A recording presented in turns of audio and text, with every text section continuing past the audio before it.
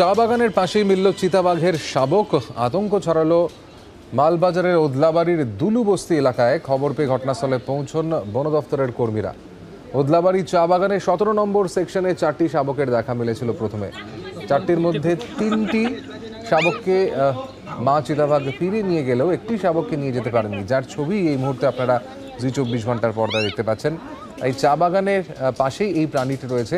কিন্তু এই শাবকটিকে ফিরিয়ে নিতে যদি মা চিতা আসে, তাহলে আবার সমস্যা তৈরি হবে। সেই কারণে একটা আতঙ্ক ছড়িয়েছে এলাকায়। শাবকের বয়স দু তিন দিন বলে মনে হচ্ছে। আশপাশের লোকজনকে দূরে সরিয়ে দিয়েছেন বনকর্মীরা। মা চিতাভাগ যাতে শাবকটিকে নিয়ে যায়, সেদিকেও খেয়াল রাখতে হচ্ছে।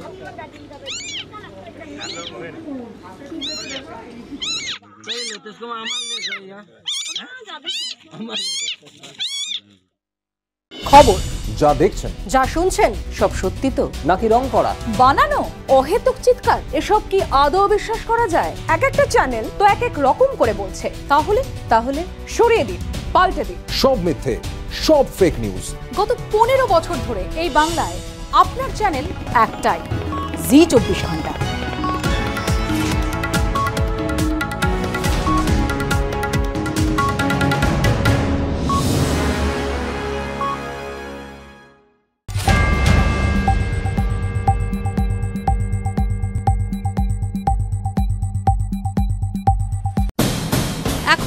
এখন দেখুন আপনার সময় মতো। আপনার হাতের মুঠোয় রাজ্য দেশ দুনিয়া। ডাউনলোড করুন জি চব্বিশ ঘণ্টা অ্যাপ। এক ক্লিকেই পান সব আপডেট। খবর।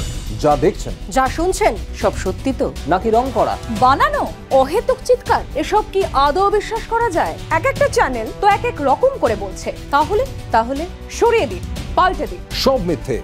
সব ফেক নিউজ গত পনেরো বছর ধরে এই বাংলায় আপনার চ্যানেল একটাই, জি চব্বিশ ঘণ্টা।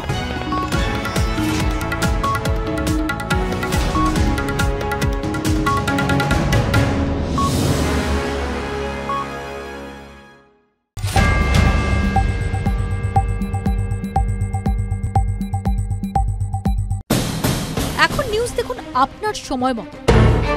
আপনার হাতের মুঠোয় রাজ্য দেশ দুনিয়া। ডাউনলোড করুন জি চব্বিশ ঘণ্টা অ্যাপ। এক ক্লিকেই পান সব আপডেট। খবর।